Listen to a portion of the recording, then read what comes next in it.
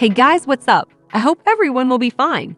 Please hold on to subscribe our channel until you like it. So today we'll discuss some top storylines, controversies, and headlines from the greatest NFL teams. Please like and share our videos, and let's start with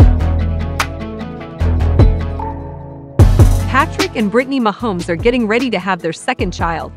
Patrick Mahomes, a star quarterback, and Brittany Mahomes are expecting their second child due in early 2023.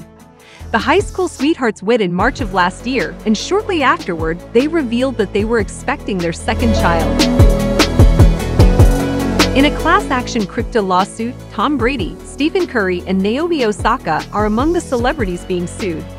Tom Brady, the quarterback for the Tampa Bay Buccaneers, as well as several other well-known athletes, including Stephen Curry and Naomi Osaka, were listed as defendants in a class-action crypto lawsuit that was filed in Florida on Tuesday.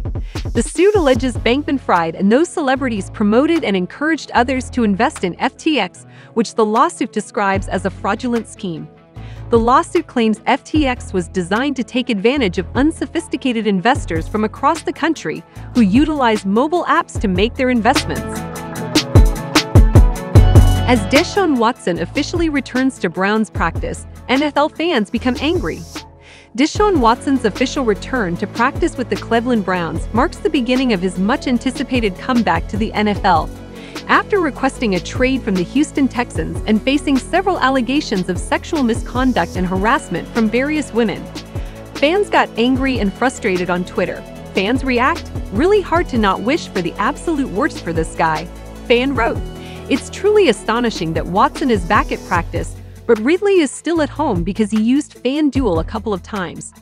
He shouldn't even be allowed to play. One fan wrote, one fan react, Man credibly accused of sexual assault returns to his highly lucrative career as NFL quarterback.